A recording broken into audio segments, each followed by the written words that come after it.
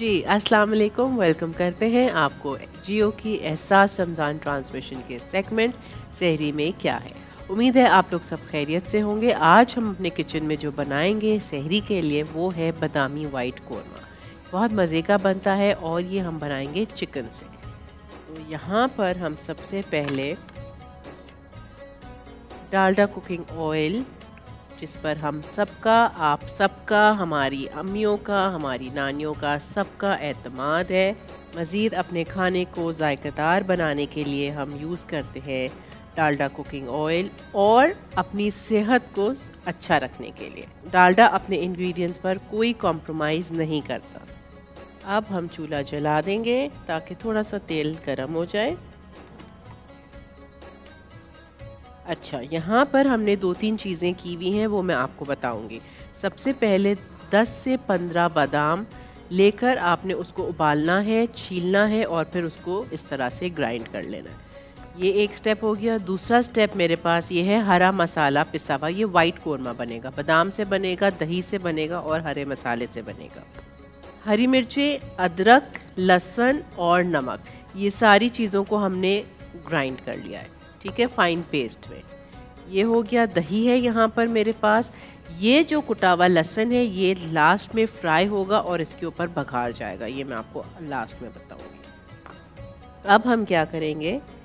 तेल गरम हो गया। अब हम हर चीज़ इसमें ऐड कर लेंगे। चिकन पानी भी हम साथ ही डालेंगे इसमें चिकन को गलाने के लिए ग्रेवी बनाने के लिए। ये एक चिकन है।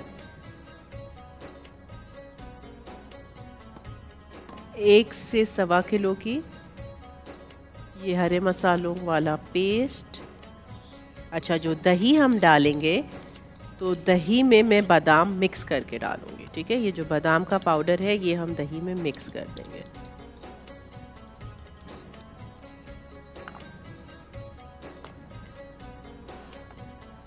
नमक।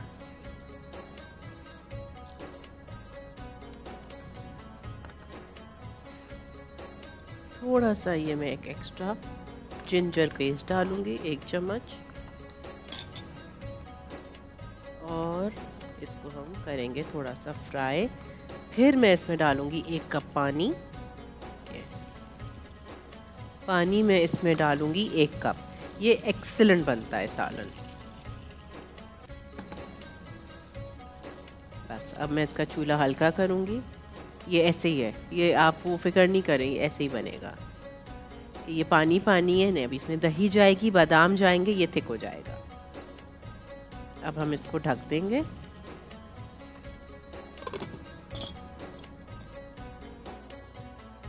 दही और बादाम हम एक साथ मिक्स करेंगे। जब चिकन गल जाएगी, फिर हम उसमें ऐड करेंगे। लहसन को फ्राई करेंगे हम डालडा के कुकिंग ऑयल में या आप घी में भी फ्राई कर सकते हैं, आपकी अपनी मर्ज़ी है। और फिर इस पर हल्का सा वो एक तड़का नुमा देंगे।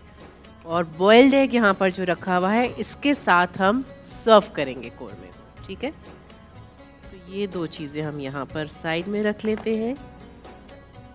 बहुत जल्दी बनता है, बहुत क्विक रेसिपी है।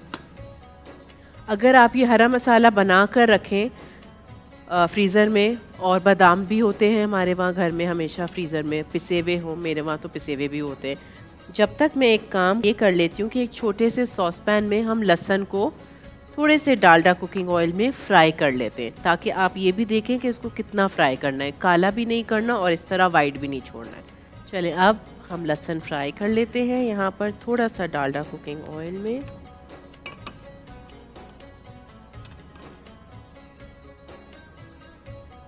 Dalda cooking oil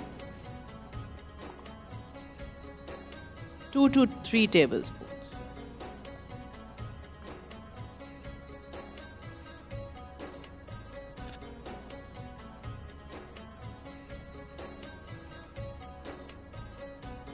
ताज़ा लहसन होगा ना तो इसका ज़्यादा खुशबू और फ्लेवर बहुत अच्छा आएगा। फ्रिज में भी हमारा जो रखा हुआ होता है गार्लिक कुटावा हम तो अलग रखते हैं तो वो भी आप यूज़ कर सकते हैं बट फ्रेश होगा तो ज़्यादा अच्छा लगेगा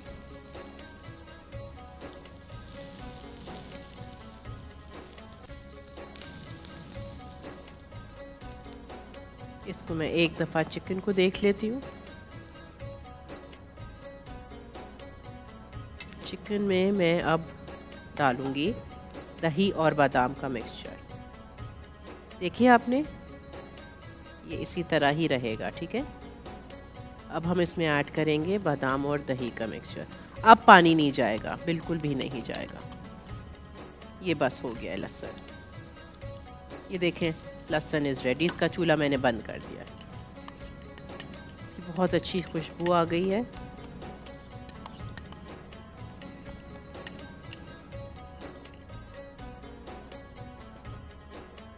ठीक है, ये हो गया। अब हम इसको अच्छे से मिक्स करेंगे और अब इसको पूरा 100 परसेंट गल जाने तक के लिए पकाएँगे। अब इसको हम इतनी देर पकाएँगे कि अच्छी थिक ग्रेवी बन जाए और चिकन टोटल हमारी पूरी 100 परसेंट गल जाए। उसके बाद फिर हम इसमें डालेंगे ये लहसन वाला बघार और इसको सर्व करेंगे बॉयल्ड एग के साथ। ये, ठीक है, ये इतना ही इसमें ग्रेवी होगी। आपको चाहिए थोड़ा सा पका लें, लेकिन हमारे वहाँ ये इसी तरह होता है। तो आपकी अपनी मर्ज़ी है। मैं इसी तरह ही सर्व करूँगी। लास्ट में ये जो हमारे पास गार्लिक हमारा फ्राई किया हुआ था फ्रेश चॉप्ड गार्लिक और इसको हमने फ्राई किया था दो टेबलस्पून डालडा कुकिंग ऑयल में। ये हो गया रेडी इसको अब हम करेंगे डिश आउट और डिश आउट करने के बाद हम इसमें डालेंगे वन बॉइल्ड एग हम इसको सर्व कर रहे हैं ताफ्तान के साथ। आप इसको, मैंने आपको बता दिया बेकरी वाले शीरमाल के साथ सर्व करें डिनर रोल के साथ सर्व करें, जिस तरह सर्व कर सकते हैं। चावल के साथ भी बहुत ग्रेवी है ना? चावल के साथ भी बहुत अच्छा लगता है। चूल्हा में कर रही हूँ इसका बंद।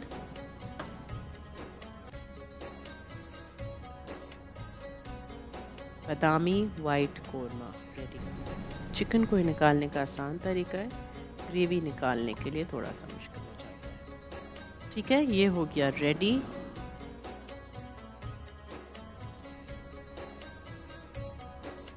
अब हम स्लाइस करेंगे अंडे। आप चार में भी कर सकते हैं, दो में भी कर सकते हैं, जिस तरह आपका दिल चाहे आप कर सकते हैं। इसी तरह से सर्व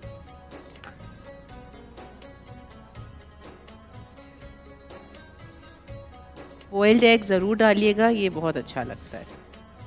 ये हो गया हमारा बादामी कोरमा रेडी ज़बरदस्त खुशबू आ रही है, शहरी में अभी टाइम है, अगर आप लोग उठे हुए हैं तो आप ये भी अभी बना सकते हैं। इतना कोई मुश्किल नहीं है अगर चीज़ें आपके पास रेडी हैं तो। करशी जाम शीरी खालिश अरकियात से तैयार किया जाता है। विदाउट एनी प्रजर्वेटिव्स ये बनता है, हम सब का पसंदीदा ड्रिंक है ये। ना सिर्फ़ ये पानी और दूध में पिया जाता है, इससे बेशुमार तरीक़ों से हम डिज़र्ट्स और बाकी ड्रिंक्स भी बना सकते हैं। कुछ ही देर में अब आपसे मुलाकात होगी हमारे शहरी के टेबल पर। स्टे